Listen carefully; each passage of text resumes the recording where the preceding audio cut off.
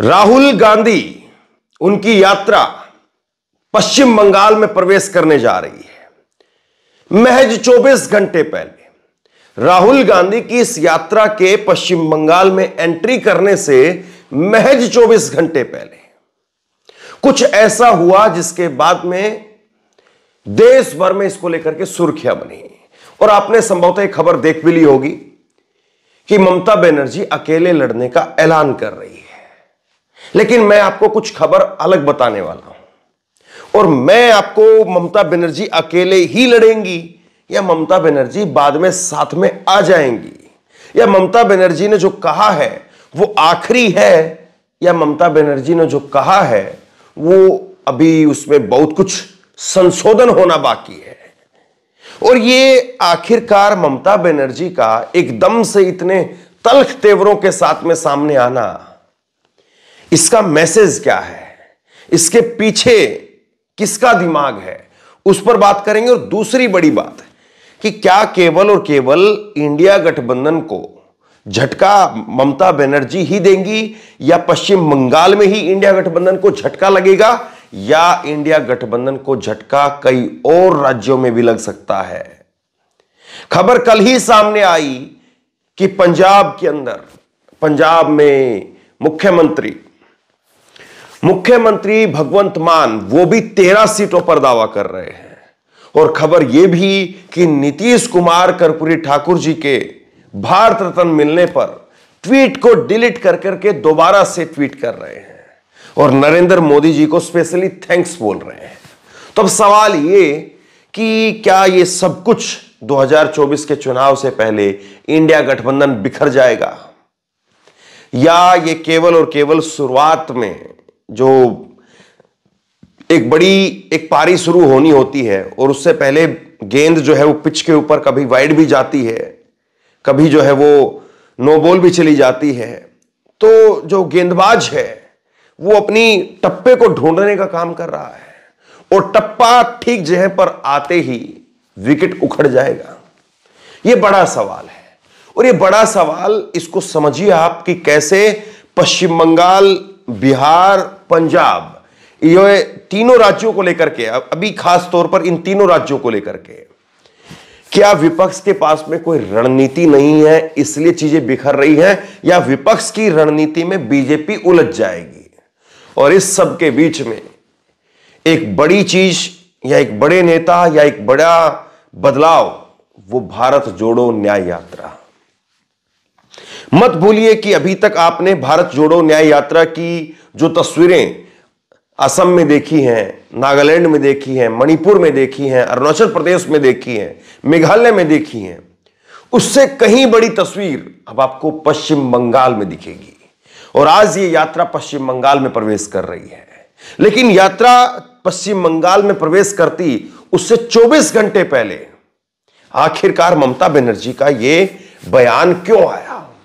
और दबी ज़ुबान में या यहाँ के जो वरिष्ठ पत्रकार हैं जिनसे मैंने कई लोगों से बात की तो बहुत सारे लोग नाम लेते हैं। एक नाम अभिषेक बनर्जी। अभिषेक बनर्जी यानी ममता बनर्जी के भतीजे।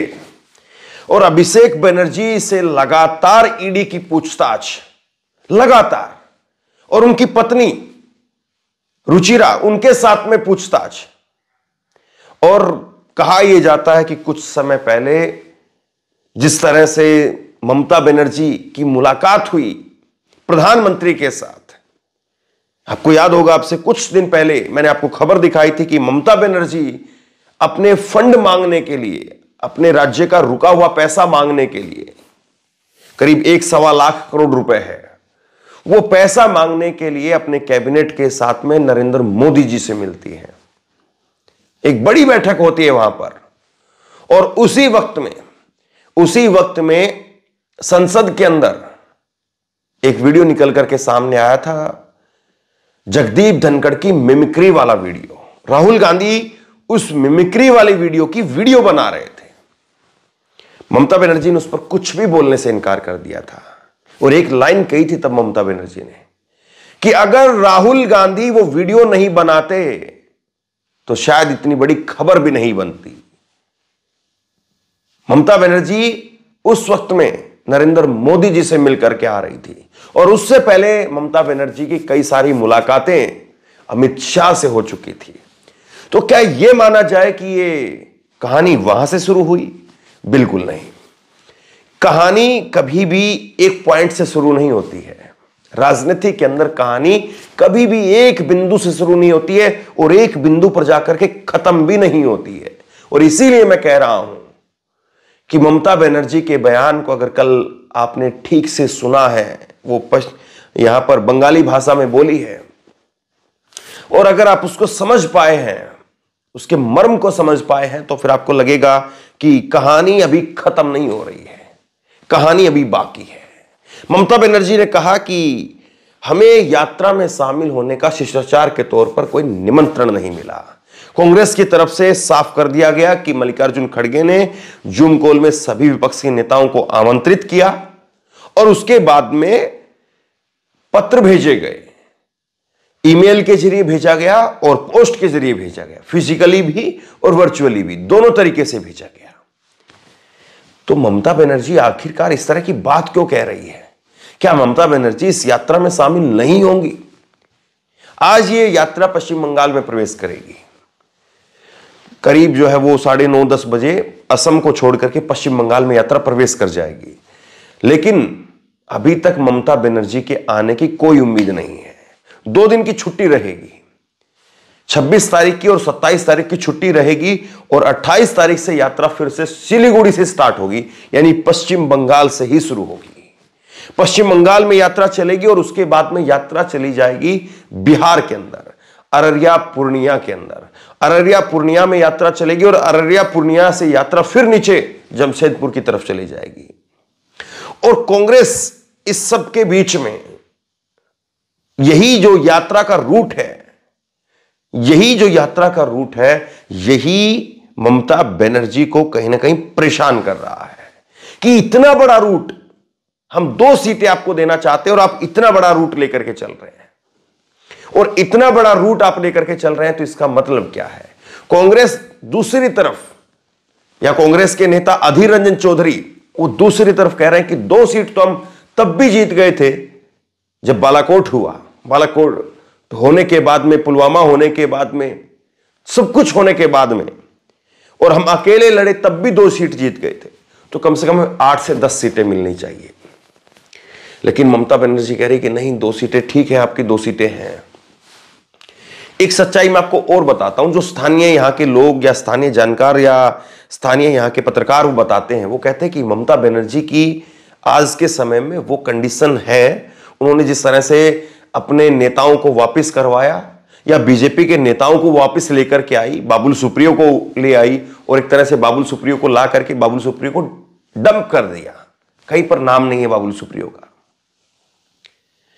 तो ममता बनर्जी जो है, वो बीजेपी को पाँच सात सीटों पर भी समेट सकती है। अगर ममता बनर्जी ठीक तरीके से लड़ जाए तो ममता बनर्जी बीजेपी को पाँच सात सीटों के ऊपर खत्म कर देंगी। तो फिर ये तो इंडिया गठबंधन के लिए अच्छी बात हुई। लेकिन सवाल दूसरा यह है कि कांग्रेस पार्टी, वो चाह रही है कि कम से कम चार से पाँच सीटें मिले। और यही जब सवाल जब मैंने कल सुप्रिया सरनेस से पूछा तो उन्होंने भी कहा कि बातचीत चल रही है। ममता बनर्जी के साथ में अभी भी बातचीत जारी है और आप ये मान करके मत चलिए कि ममता बनर्जी के साथ में जो बातचीत हो रही है, वो खत्म हो चुकी है। ये सुप्रिया सनेत ने कहा। मैं सुनवाऊँगा आपको और उसके साथ साथ जब प्रेस कॉन्फ्रेंस में सवाल पूछा गया जयराम रमेश से, जयराम रमेश से जब ये सवाल पूछा गया तो जयराम रमेश ने भी कहा कि अभी ममता बनर्जी के साथ में बातचीत चल रही है। और वो जो बात कह रही है कि बीजेपी को हराना है, वही बात तो हम कह रहे हैं। जब दोनों की बात एक ही है तो फिर मंजिल भी एक ही जगह पर जाकर के रुकेगी। दोनों की पटरियाँ अगर एक ही दिशा में जा रही है, दोनों एक ही दिशा में दौड़ रहे हैं तो मंजिल भी फिर एक ही होगी। ये जयराम रमेश की तरफ़ से कहा गया। अब क्या वाकई ये पश्चिम बंगाल का मामला इतना आसान है कि ठीक हो जाएगा? या पश्चिम बंगाल में जिस तरह से ममता बनर्जी के ऊपर आरोप लग रहे हैं कि उन्होंने अपने भतीजे को ईडी से बचाने के लिए, भतीजे की बहू को ईडी से बचाने के लिए, क्योंकि तो ममता बनर्जी पर हाथ नहीं डाल सकते हैं। उधर झारखंड के अंदर हेमंत सोरेन, वो टारगेट पर हेमंत सोरेन को सात बार ईडी का सम्मन और सात बार उन्होंने ईडी के सम्मन को नकार दिया और अपनी पत्नी को सीएम बनाने की तैयारी करके गिरफ्तारी के लिए बैठे हुए हैं। लेकिन हेमंत सोरेन पर भी हाथ नहीं डाल पाई ईडी। तो इसका मतलब यह तो बिल्कुल साफ़ है कि ममता बनर्जी पर ईडी हाथ नहीं डाल पाएगी। लेकिन अभिषेक बनर्जी तो है। अभिषेक बनर्जी जो कि ममता बनर्जी की पार्टी में नंबर दो की हैसियत वाले हैं। और अभिषेक बनर्जी को, अभिषेक बनर्जी को अगर अंदर डाल दिया गया तो फिर ममता बनर्जी की पार्टी को संभालेगा कौन? क्योंकि यहाँ तो बहुत लंबी लंबी तारीखें चलती हैं। देख लीजिए केजरीवाल में, केजरीवाल की पार्टी में अरविंद मनीष सिसोदिया, संजय सिंह सत्येंद्र जैन लंबे गए एक बार अंदर तो वापसी बाहर नहीं। और अरविंद केजरीवाल इस वक्त में यही जूझ रहे हैं कि पार्टी में नंबर दो की हैसियत अब किसको दी जाए? और नंबर दो की हैसियत किसी की तय नहीं कर पा रहे हैं। और दूसरी तरफ़ दूसरी तरफ़ पंजाब में मुख्यमंत्री भगवंत मान वो कह रहे हैं कि तेरह सीट पर हम लड़ेंगे। हमने 40 कैंडिडेट शॉर्ट लिस्ट कर दिए हैं। तेरह सीटों के ऊपर 40 उम्मीदवारों को हमने शॉर्ट लिस्ट कर दिया है कि 40 उम्मीदवारों में से अब हमें तेरह चुनने हैं। तो यानी हमारी तैयारी है, हर सीट के ऊपर तीन कैंडिडेट हमारे पास में है। हर सीट के ऊपर कम से कम तीन कैंडिडेट हमारे पास में है। तो यह कहकर के क्या इंडिया गठबंधन के लिए वहाँ पर भी रास्ते बंद हो गए हैं और सब अपना अपना एकला चलो, बंगाल से लेकर के और पंजाब। बिहार इस बीच में, मैं बीच में लुट करके आऊँगा। तो पंजाब में क्या वाकई वहाँ पर भी सब कुछ बिखर गया है, खत्म हो गया है? पंजाब को दरअसल आप दूसरे चश्मे से देखिए। पंजाब को आप दूसरे चश्मे से इसलिए देखिए क्योंकि पंजाब एक अलग तरह के मूड मिजाज वाला प्रदेश है। और मत भूलिए कि पंजाब में तेरह फरवरी से किसान आंदोलन भी शुरू हो रहा है। तो यानी विपक्ष का वोट पंजाब में किसके लिए रहेगा? बीजेपी और अकाली दल के लिए। बीजेपी और अकाली दल फिर तेरह सीटों पर एक साथ लड़ेंगे। तो बीजेपी और अकाली दल अगर तेरह सीटों पर एक साथ लड़ते हैं तो फिर कहीं ना कहीं इंडिया गठबंधन को वहाँ पर फ़ायदा होने की जगह नुकसान हो सकता है। तो इसलिए अगर इंडिया गठबंधन वहाँ पर यह भी कहानी निकल करके सामने आ रही है, बड़ी दिलचस्प है कहानी। आप कहेंगे कि ये तो अलग किस्म की थ्योरी है, लेकिन सच्चाई यही है। एक अलग किस्म की कहानी, एक अलग किस्म की थ्योरी पंजाब को लेकर के निकल करके सामने आ रही है कि अंदर खाने अंदर खाने बातें तय हो जाएँ, अंदर खाने चीज़ें तय हो जाए कि कौन सी सीट पर हम हल्का उम्मीदवार उतारेंगे और कौन सी सीट पर तुमको हल्का उम्मीदवार उतारना है।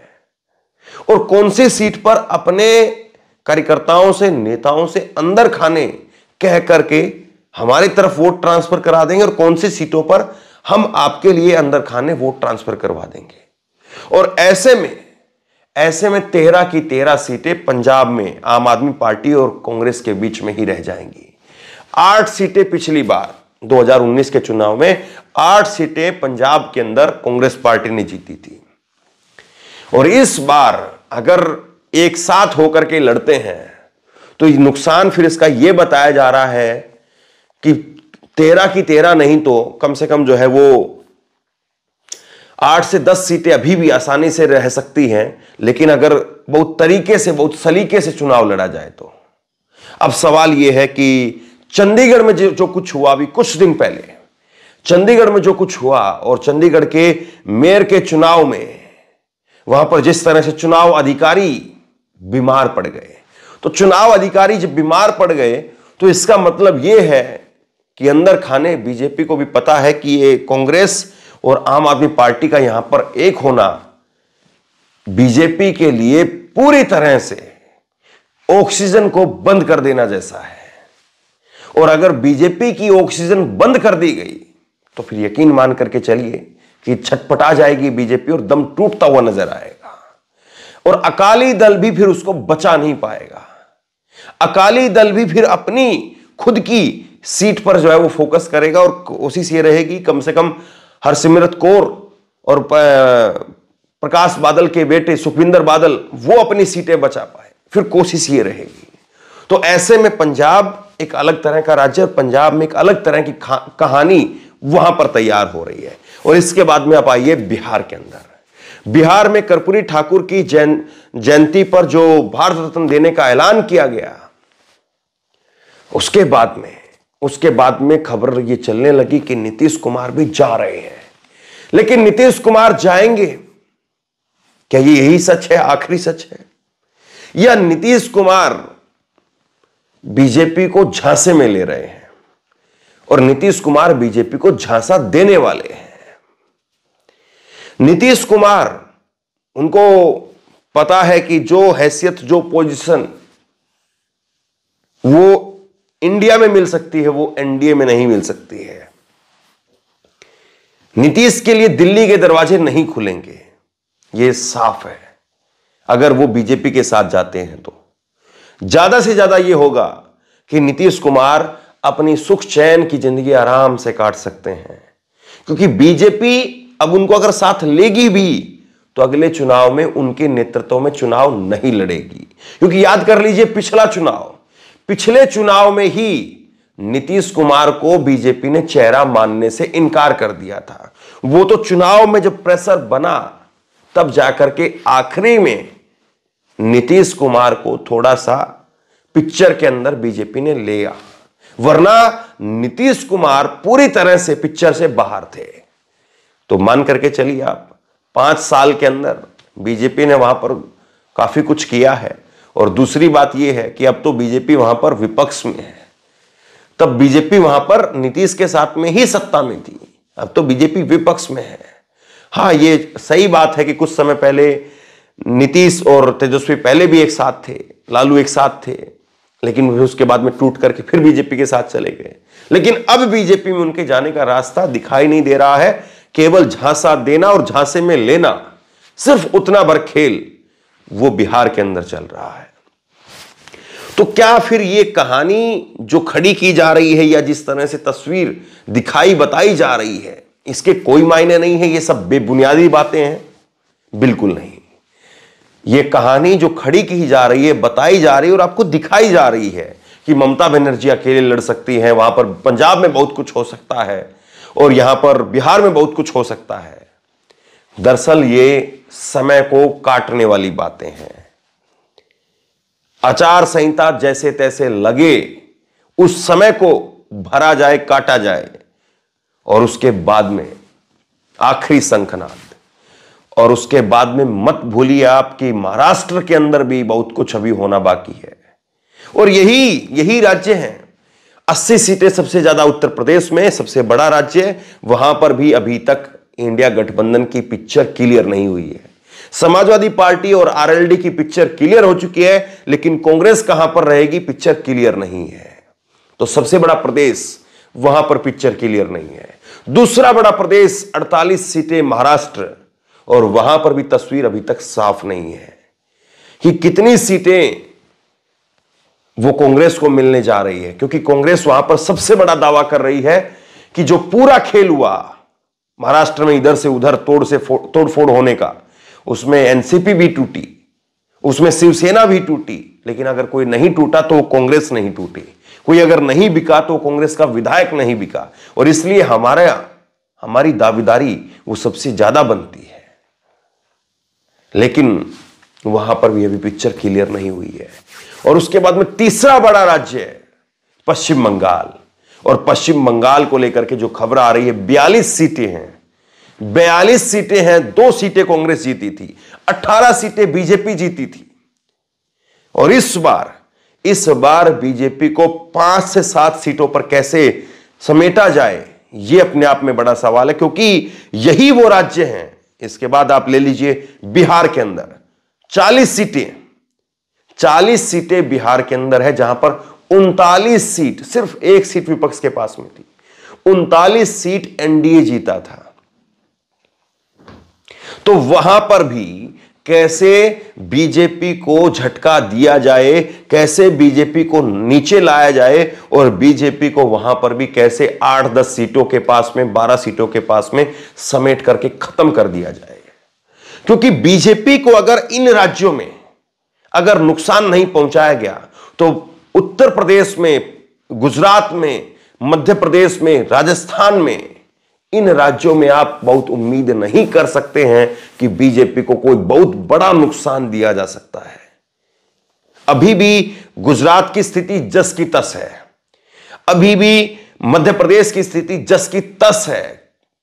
यह सच्चाई है। और अभी भी राजस्थान की स्थिति जस की तस है। मध्य प्रदेश और राजस्थान में चुनाव हो चुके हैं। लेकिन चुनाव के बाद में लोकसभा की तैयारी के लिए कांग्रेस की वहाँ पर क्या कुछ तैयारी हो रही है, दिखाई नहीं देता है। तो वहाँ पर कांग्रेस कैसे काउंटर करेगी? और अकेली कांग्रेस ही है वहाँ पर। तो विधानसभा चुनाव के अंदर कांग्रेस वहाँ पर मजबूती दिखा नहीं पाई। तो लोकसभा के अंदर कैसे होगा? तो उन बड़े राज्यों में और फिर उत्तर प्रदेश में मंदिर के नाम पर पूरी लहर लूटने की एक कवायद चल रही है। तो ऐसे में समाजवादी पार्टी, इंडिया गठबंधन, कांग्रेस पार्टी सब लोग एक साथ में रहते हैं। तब भी क्या बीजेपी को वहाँ पर 50 सीटों तक कम से कम रोक पाएँगे। यह भी अपने आप में एक सवाल है। तो बहरहाल अभी भी पिक्चर खुली हुई है अभी भी तस्वीर बननी बाकी है। यह समय को केवल भरा जा रहा है और समय जैसे जैसे भरता चला जाएगा आपको बहुत कुछ नज़र आएगा। इस तस्वीर को अगर आप आखिरी मान करके चल रहे हैं कि ममता बनर्जी खाली खा, जो है ममता बनर्जी बाहर निकल चुकी है तो मुझे लगता है कि बहुत जल्दबाजी होगी। ममता बनर्जी ने कल भी कहा कि हम अकेले लड़ेंगे, लेकिन इंडिया गठबंधन का हिस्सा हैं। तो यह कहना, और अभी यात्रा में उनकी तरफ़ से कौन आता है, कौन नहीं आता है, और ममता बनर्जी का, उनकी पार्टी का, उनकी पार्टी के स्थानीय इकाइयों का, जब उस इलाके से यात्रा निकलेगी तो क्या कुछ रिएक्शन रहता है? वहाँ पर विरोध होता है? वहाँ पर स्वागत होता है या साइलेंट चुप्पी दिखती है, इसमें भी बहुत कुछ छिपा हुआ है। तो बहरहाल, पिक्चर अभी बाकी है और इस पिक्चर को समझने के लिए आपको इंतज़ार करना पड़ेगा। शेयर कीजिए इस खबर को, लोगों तक पहुंचाइए और इसी तरह की तमाम खबरों के लिए ऑनलाइन न्यूज़ इंडिया को सब्सक्राइब कीजिए। साथ में जो बेल आइकन है घंटे उसको ज़रूर दबाइए ताकि जैसे ही कोई खबर अपलोड करें, उसकी नोटिफिकेशन सीधे सबसे पहले आपको मिल सके। अगर ये वीडियो फेसबुक पर देख रहे हैं तो फेसबुक पर हमारे पेज को लाइक कीजिए फॉलो कीजिए और इस खबर को शेयर कीजिए। आपका बहुत बहुत धन्यवाद।